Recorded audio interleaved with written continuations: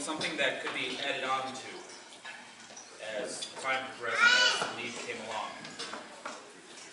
This challenge offered me the chance to do just that. So,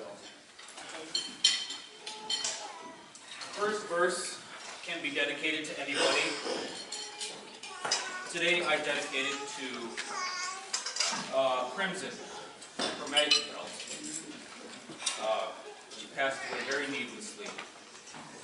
like to dedicate the first verse to her.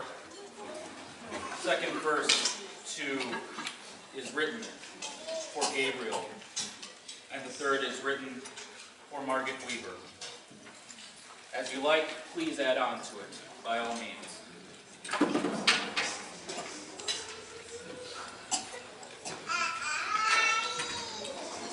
Oh, my sister, you ride to eternal life, no longer No longer encumbered by sickness and strife, and though you have left us, we'll praise you in song. Your fire's extinguished, but your light still shines on. And all of great Northshield shall look to the sky. Night sky shines brighter each evening you rise.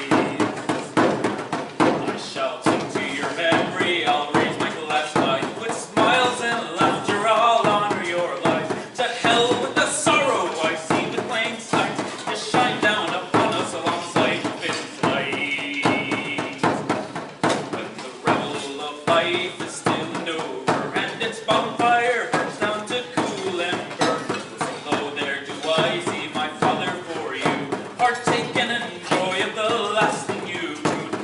The shall beat out their